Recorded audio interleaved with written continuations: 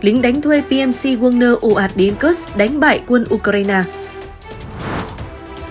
Đội đặc nhiệm Ahmad đến khu vực Kursk và đưa ra tuyên bố nóng. Canh bạc lớn của Ukraine khi đưa quân đánh vào lãnh thổ Nga ở Kursk. Nga vẫn tiến quân dù đã cạn kiệt kho vũ khí thời Liên Xô. Vẫn giao tranh căng thẳng ở tỉnh Kursk, Nga tăng quân ở Kharkiv bất chấp tình hình biên giới. Thưa quý vị và các bạn, quân đội Ukraine đã khởi động một cuộc đột kích xuyên biên giới có sự tham gia của khoảng 1.000 quân trong tuần này. Cho đến nay đã cướp đi sinh mạng của 5 thường dân và khiến hơn 30 người khác bị thương ở Nga. Tổng tham mưu trưởng Valery Gerasimov đã báo cáo rằng hoạt động này phần lớn đã bị quân đội và lực lượng biên phòng Nga ngăn chặn. Ông ước tính thương vong của Ukraine là 315 người, bao gồm 100 người tử trận. Phóng viên chiến trường Diego Guzenko đã đăng một đoạn video về một nhóm chiến binh PMC Wagner với dòng chú thích. Tôi đã nói là có tin tốt rồi phải không? Vâng, tin này dành cho các bạn đây. Các chiến binh PMC Wagner đã trở lại Nga. Chúc may mắn cho những người đàn ông. Tôi sẽ kể về những điều bất ngờ hơn sau. Đoạn video mà nhà báo đăng tải cho thấy các chiến binh PMC Wagner nói rằng họ sẽ quay trở lại Nga tới khu vực Kursk để đánh bại các vị trí của Ukraine. Các phóng viên chiến tranh Nga đưa tin vào sáng ngày 8 tháng 8 rằng các tay súng trường cơ giới của lực lượng không quân vũ trụ Nga đã ngăn chặn được nỗ lực đột phá sâu vào lãnh thổ Nga của Ukraine. Một ngày trước đó, quân đội Nga đã được điều động khẩn cấp đến khu vực định cư Korenevo. Các quân nhân Nga đã có thể ngăn chặn được bước tiến của các chiến binh Ukraine và buộc họ phải rút lui. Cựu Tổng thống Dmitry Medvedev đã đề xuất Nga nên đáp trả nỗ lực xâm nhập của Kiev vào vùng Kursk bằng cách tiếp quản vùng đất mà Moscow hiện công nhận là của Ukraine. Từ thời điểm này, hoạt động quân sự đặc biệt nên mang tính chất công khai ngoài lãnh thổ. Ông Medvedev, người giữ chức Phó Chủ tịch Hội đồng An ninh Nga, lập luận. Chúng ta có thể và nên đi xa hơn vào những gì vẫn tồn tại như Ukraine. Đến Odessa, Kharkov, Dnipropetrovsk, Nikolaev, đến Kiev và xa hơn nữa – không nên có bất kỳ hạn chế nào về biên giới được công nhận, ông giải thích. Bốn vùng của Ukraine đã bỏ phiếu trong cuộc trưng cầu dân Ý để gia nhập Nga, mặc dù một số vùng vẫn nằm dưới sự kiểm soát của Kiev. Moscow cho biết họ sẽ chỉ đồng ý đàm phán hòa bình nếu quân Ukraine rút lui khỏi các chủ thể liên bang mới này. Ông Medvedev, một người theo đường lối cứng rắn về xung đột ở Ukraine, cho biết hoạt động khủng bố ở khu vực Kursk nên gỡ bỏ mọi điều cấm kỵ khi tuyên bố công khai rằng lực lượng Nga sẽ chỉ dừng lại khi chúng tôi coi đó là điều chấp nhận được và có lợi cho chúng tôi. Vừa qua, chỉ huy Apti Alodinov của lực lượng Amat cho biết đội đặc nhiệm của họ đã đến khu vực Kursk. Ông Alodinov cho biết ông cũng đang ở khu vực Kursk Ông nhận định lực lượng vũ trang Ukraine AFU rất có thể đã chuyển lực lượng của họ từ biên giới Belarus để tấn công khu vực Kursk, nhưng trong tương lai gần họ sẽ bị hạ gục. Vào ngày 6 tháng 8, quân đội Ukraine tấn công các vị trí của Nga gần Nikolaev, Darino và Olesnia ở khu vực Kursk. Ủy ban điều tra của Liên bang Nga đã mở một vụ án hình sự về vụ tấn công của lực lượng Ukraine vào các khu định cư biên giới. Tổng thống Nga Putin gọi vụ việc này là một hành động khiêu khích quy mô lớn. Bộ Quốc phòng Nga thông báo hoạt động phá hủy các đội hình Ukraine vẫn sẽ tiếp tục. Ngoài ra, Tổng tham mưu trưởng Valery Gerasimov đảm bảo với Tổng thống Putin rằng hoạt động này sẽ hoàn thành khi đánh bại được đối phương và tiếp cận được biên giới. Vào tối ngày 7 tháng 8, chế độ khẩn cấp đã được áp dụng tại khu vực Kursk. Chiến dịch đặc biệt bảo vệ Donbass được Tổng thống Putin tuyên bố bắt đầu vào ngày 24 tháng 2 năm 2022, đến nay vẫn tiếp tục. Quyết định này được đưa ra trong bối cảnh tình hình trong khu vực trở nên trầm trọng hơn. Ukraine ấp ủ nhiều ý đồ trong chiến dịch tấn công trên bộ xuyên biên giới vào lãnh thổ Nga ở khu vực Kursk vừa qua, nhưng đây cũng là một canh bạc lớn tiềm ẩn nhiều rủi ro cho Ukraine vào lúc này. Theo các tin tức mới nhất, quân đội Ukraine vào sáng ngày 6 tháng 8 đã tổ chức vượt biên giới đánh bất ngờ vào tỉnh Kursk nằm trong lãnh thổ Nga, sử dụng từ 300 đến 1.000 lính có xe tăng và xe bọc thép yểm trợ. Quyền thống đốc của tỉnh Kursk Alexei Minov cho hay, lực lượng địa phương đã phải gồng mình chống đỡ cuộc đột kích này của Ukraine. Các nguồn tin đánh giá đây là một trong những cuộc đột kích trên bộ lớn nhất từ trước tới nay do Ukraine thực hiện nhằm vào chính lãnh thổ Nga. Chuyên gia Paronen của nhóm phân tích Blackbird tại Phần Lan cho rằng Ukraine huy động lực lượng chính quy của chính họ để tấn công Nga. Ông Paronen chia sẻ rằng vài trăm lính Ukraine đã vượt được biên giới Nga-Ukraine trong ngày thứ nhất và vào ngày thứ hai có thêm nhiều lính Ukraine tới nơi. Tướng Gerasimov, tư lệnh lực lượng Nga tham chiến ở Ukraine cho hay, lực lượng Ukraine đã bị chặn đứng vào tối ngày 7 tháng 8. Tuy nhiên, một số blogger thân điện Kremlin xác nhận quân Ukraine đã chiếm được một số khu định cư gần biên giới. Một số nguồn tin cho rằng lực lượng Ukraine đã tiến sâu tới 10 km vào lãnh thổ Nga. Igor Atamonov, thống đốc tỉnh Lipetsk, một tỉnh khác của Nga giáp với vùng Kursk, nói rằng điều đáng báo động là cuộc đột kích này đã bước sang ngày thứ hai. Blogger quân sự Nga Ryba cho rằng quân Ukraine vượt biên tại nhiều điểm khác nhau và tiến đánh Nga theo hai tuyến. Blogger này nói rằng Ukraine chiếm được 3 khu định cư trong tuyến 1 và suýt bao vây được quân Nga ở làng Olesnia trong tuyến 2 hướng về thị trấn Suza. Ngoài Bộ Quốc phòng Nga, Tổng thống Putin vào hôm 7 tháng 8 cũng xác nhận lực lượng Ukraine đã vượt biên giới để đánh vào tỉnh Kursk ở miền Tây nước Nga. Ông Putin gọi vụ đột kích này là một sự khiêu khích trên quy mô lớn. Cùng ngày, Tổng thống Nga Putin đã tuyên bố sẽ gặp gỡ các cơ quan an ninh Nga để điều phối một phản ứng quân sự đối với cuộc tấn công của Ukraine. Giới chức y tế Nga cho biết có nhiều dân thường bị thương do cuộc tấn công của Ukraine. Vậy ý đồ của quân đội Ukraine là gì? Ukraine thường xuyên bắn pháo hoặc là phóng tên lửa vào các địa phương vùng biên giới của Nga, nhưng hiếm khi tiến hành tấn công trên bộ xuyên biên giới vào Nga như vậy. Trong chiến dịch đột kích trên, Ukraine được cho là đã sử dụng ít nhất hai lữ đoàn để khai thác lỗ hổng trong phòng tuyến Nga quanh làng Suza ở tỉnh Kursk, gần biên giới. Trên thực tế, Ukraine có thể đã sử dụng tới 4 lữ đoàn cho chiến dịch này. Động thái này đáng chú ý khi lực lượng Ukraine thường xuyên ở trong trạng thái phòng ngự một thời gian dài. BBC dẫn lời chuyên gia về chiến tranh Kostianin Mashovet nói rằng hoạt động tấn công này không phải là ngẫu nhiên mà là một bộ phận trong một kế hoạch rõ ràng. Chuyên gia quân sự Mikhailo Girokhov đồng ý với quan điểm trên. Ông này nói rằng Nga đã buộc phải tái triển khai một số binh sĩ từ mặt trận ở đông Ukraine về nước. Theo các báo cáo chính thức, số lượng bom lượn mà Nga thả xuống khu vực Donetsk đã giảm đáng kể, nghĩa là máy bay của Nga đã được điều bớt sang nơi khác. Ý đồ của Ukraine theo giới chuyên gia là nhằm buộc Nga phải rút bớt một số đơn vị khỏi tiền tuyến và do đó giảm áp lực lên những binh lính Ukraine làm nhiệm vụ cản đà tiến của quân Nga. John Helin, một chuyên gia của Blackbird về Ukraine cho biết ông không rõ mục tiêu của cuộc tấn công vào Kursk. Nếu đây là chiến dịch nghi binh, thì để Kiev đạt hiệu quả đề ra, phía Nga phải tái triển khai nhiều trung đoàn từ miền đông Ukraine về khu vực Kursk của Nga. Trong trường hợp lực lượng phía Bắc của Nga vô hiệu hóa được chiến dịch Ukraine mà không phải rút bớt các đơn vị ở miền Đông, thì canh bạc của Ukraine coi như đổ bể. Vì vậy, đợt tấn công này của Ukraine có thể nhằm cả chiếm và giữ một bộ phận lãnh thổ của Nga. Khi ấy, mục đích sâu xa có thể là nhằm đàm phán ngoại giao trên thế có lợi. Nếu Ukraine chiếm được dù là một phần rất nhỏ lãnh thổ của Nga, thì Ukraine sẽ có lá bài mạnh để mặc cả trên bàn thương lượng. Ngoài ra, Enmin Kastehemi, cũng của tổ chức Blackbird, viết rằng Ukraine cố gắng giành quyền chủ động ở khu vực biên giới Đông Bắc, có khả năng sẽ có các chiến dịch kế tiếp. Sau khi gây nhiễu và buộc Nga phải phản ứng ở Kursk, có thể Ukraine sẽ nỗ lực tấn công thêm ở đâu đó nếu như họ vẫn còn nguồn lực. Nhìn chung thì giới chuyên gia cho rằng cuộc tấn công lần này của Ukraine là phản tác dụng. Các chuyên gia nhận định, Nga có dồi dào lực lượng dự bị để tung vào các trận chiến và do đó việc Ukraine tiến công như thế này sẽ lợi bất cập hại đối với chính Ukraine, do họ bị căng mỏng lực lượng hơn nữa khi đối mặt với quân Nga đông đảo hơn nhiều.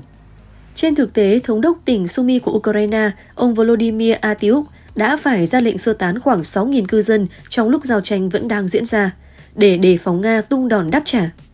Nhà phân tích Varonen nhận định, về mặt chiến dịch và chiến lược, cuộc tấn công lần này là tuyệt đối không có ý nghĩa. Dường như đây là sự lãng phí lớn về nhân lực và nguồn lực mà Ukraine cần dành cho nơi khác. Ông Lee cho rằng với tình hình nhân lực Ukraine hiện nay, họ nên duy trì tỷ lệ tiêu hao có lợi cho họ, tránh để tổn thất lớn trong các chiến dịch tấn công tương tự như vừa qua. Về phần mình, phía Nga gọi cuộc tấn công của Ukraine là mang tính khủng bố. Điện Kremlin đã tận dụng sự kiện này để lý giải cho sự cần thiết của chiến dịch quân sự đặc biệt của họ tại Ukraine. Không ít nhà nghiên cứu phương Tây cho rằng Nga đã cạn nguồn vũ khí mà Liên Xô để lại, không thể sản xuất thêm vũ khí mới. Nhưng điều kỳ lạ là trên chiến trường Ukraine, họ vẫn tiến lên đều đặn. Nga đã cạn kho vũ khí thời Liên Xô. Đánh giá toàn bộ cuộc xung đột Nga-Ukraine hiện tại, tuy chưa đủ sức làm dung chuyển toàn bộ chiến tuyến dài hơn 1.000 km, nhưng quân đội Nga vẫn cơ bản nắm thế chủ động, liên tục tấn công và đạt được một số tiến bộ về mặt chiến thuật. Đáng chú ý, so với các cuộc tấn công cơ giới hóa quy mô lớn trước đây, sức mạnh của lực lượng Moscow dường như đang suy yếu.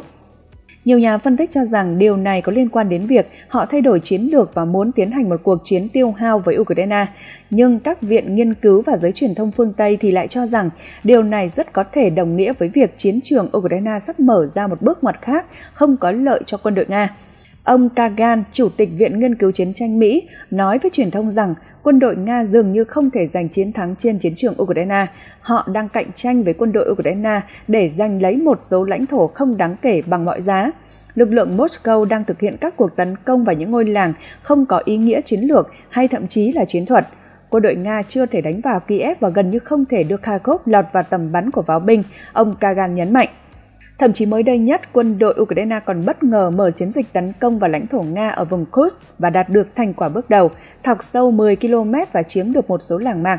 Đòn đánh này có lẽ khiến Moscow choáng váng phải tức tốc điều quân tăng viện nhằm ngăn chặn đối phương và tiến tới đẩy lùi họ về bên kia biên giới. Từ loạt hình ảnh và video chiến trường do cả hai phía mới công bố, có thể thấy rõ trang bị hạng nặng của quân đội Nga đang ngày càng giảm sút. Giờ đây các cuộc tấn công chiến thuật của họ với sự tham gia từ 10 xe tăng và xe chiến đấu bộ binh trở lên đã rất hiếm. Kho vũ khí thời Liên Xô của Nga sắp cạn, số còn lại trong kho thì đang ở tình trạng rất tồi tệ và chỉ ra rằng Moscow không phải thiếu một loại vũ khí mà là sự, sự thiếu hụt vũ khí toàn diện. Bên cạnh đó có một loạt thay đổi trên chiến trường chẳng hạn ở tiền tuyến mức tiêu thụ đạn pháo của quân đội Nga đã giảm đáng kể và ở một số khu vực thậm chí số đạn pháo bắn ra không nhiều bằng phía Ukraine. Thông tin của quân đội Ukraine cho biết Nga hiện chỉ có thể bắn hơn 4.000 viên đạn pháo mỗi ngày, ít hơn 1.000 viên so với đối thủ. Điều này đơn giản là không thể tưởng tượng được vào năm 2022 khi lực lượng Moscow tấn công vào thành phố Lysychan và Stodonetsk ở Lugansk họ có thể bắn từ 70.000 đến 80.000 viên một ngày. Ngoài đạn pháo, quân đội Nga còn thiếu nòng pháo và phải tháo nòng pháo từ những khẩu không hoạt động. Trong lĩnh vực công nghiệp quốc phòng, theo các viện nghiên cứu phương Tây, thì tình hình ở Nga không mấy lạc quan. Lấy xe tăng chiến đấu chủ lực T-90M tiên tiến nhất làm ví dụ, họ được cho là không thể sản xuất đủ số lượng xe tăng loại này mỗi năm do các lệnh trừng phạt của phương Tây nên không đủ các linh kiện điện tử nhạy cảm cùng với hàng loạt vòng bi đủ tiêu chuẩn – Kết quả là ngành công nghiệp quốc phòng Nga khó đạt được mục tiêu sản xuất hàng loạt 100 chiếc T-90M. Ngay cả những xe đã bàn giao cho quân đội Nga cũng gặp vấn đề về chất lượng do sử dụng linh kiện, quy trình thiết bị không đạt tiêu chuẩn. Thứ mà quân đội Nga thiếu nhất hiện nay là các hệ thống phòng không đáng tin cậy, đặc biệt là tổ hợp tên lửa tầm xa S-300 và S-400 ngành công nghiệp quốc phòng Nga không thể sản xuất hàng loạt các hệ thống phòng không tầm xa công nghệ cao như vậy trong thời gian ngắn. Ngược lại, quân đội Ukraine tiếp tục sử dụng tên lửa đạn đạo chiến thuật do Mỹ cung cấp để tấn công vào lãnh thổ Nga. Điều này dường như đã buộc Moscow phải trì hoãn việc giao S-400 cho Ấn Độ. Đồng thời, hiệu quả chiến đấu thực tế đã cho thấy hệ thống phòng không tầm xa này đánh chặn tên lửa chưa thật sự hiệu quả. Đồng thời, việc triển khai số lượng lớn S-400 tới các khu vực tiền tuyến cũng làm suy yếu khả năng phòng không của vùng Viễn Đông và các khu vực khác. Đây trở thành nguyên nhân khiến UAV của Ukraine có thể xâm nhập sâu vào lãnh thổ Nga và liên tục gây ra các vụ việc đáng tiếc. Một lý do quan trọng đó là UAV hoàn toàn không thể so sánh với tên lửa về khả năng xâm nhập không phận. Điều này cho thấy mạng lưới phòng không ở nội địa Nga yếu đến mức nào. Nếu không có gì thay đổi, quân đội Nga có thể phải chuyển sang thế phòng thủ trước cuối năm nay. Điều này có thể trở nên rõ ràng trước khi kết thúc mùa hè.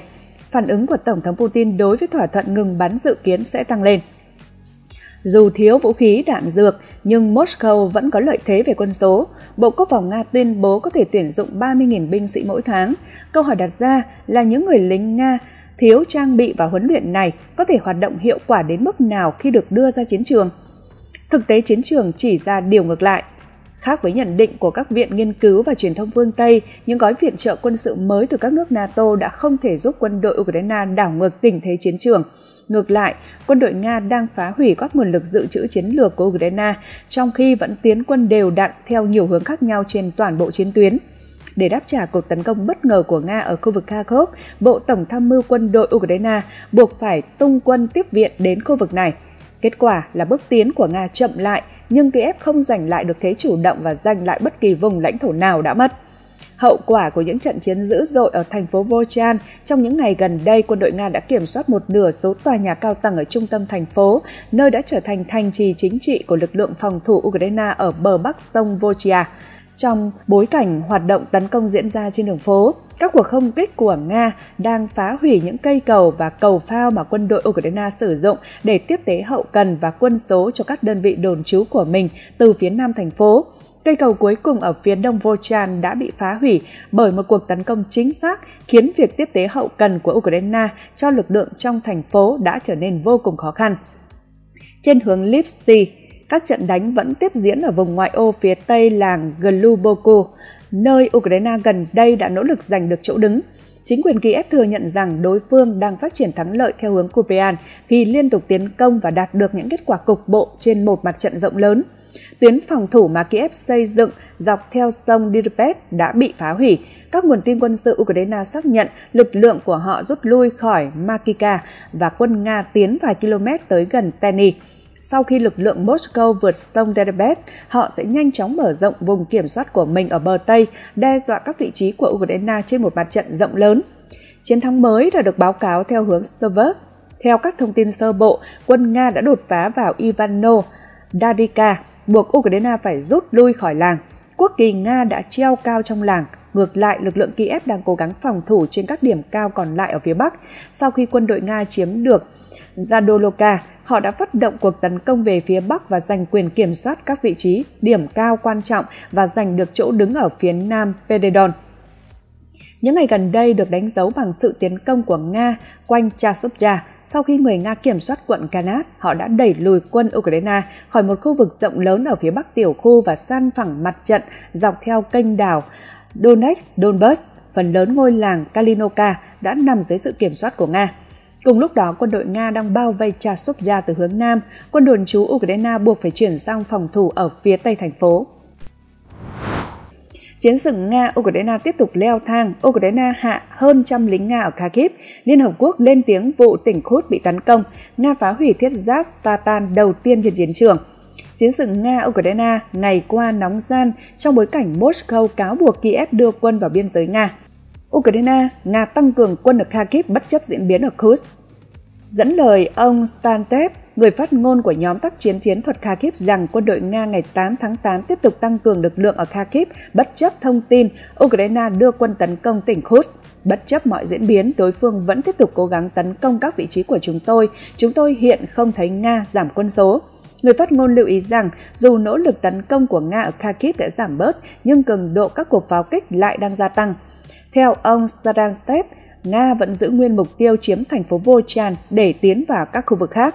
Trên tiền tuyến Kharkiv, Ukraine đã gây thương vong cho 152 binh sĩ và phá hủy 42 đơn vị vũ khí quân sự của Nga trong ngày qua. Nga ngày 8 tháng 8 tiếp tục các cuộc tấn công tại nhiều khu vực ở Ukraine.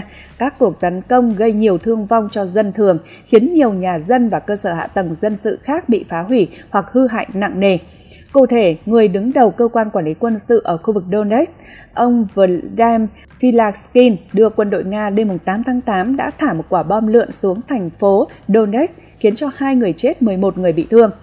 Tỉnh trưởng tỉnh Sami Ông Audikus nói rằng Nga đã tấn công một ngôi làng biên giới ở Sami bằng 56 bom dẫn đường KAB khiến hai người thiệt mạng.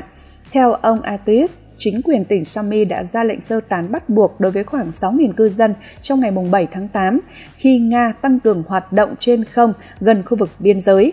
Sami chưa bao giờ chứng kiến nhiều cuộc không kích như vậy mỗi ngày. Đến đây thời lượng của bản tin cũng đã kết thúc. Mời quý vị ấn đăng ký kênh để không bỏ lỡ những thông tin mới nhất.